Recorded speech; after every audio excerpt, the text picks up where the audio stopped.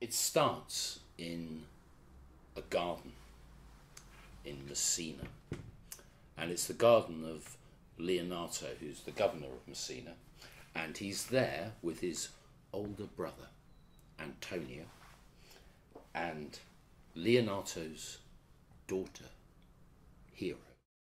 It starts with a, a watchman on a winter's night, in the middle of the night, on the battlements of a castle in Denmark. Starts with the funeral of Henry V. And Henry V is lying in his coffin.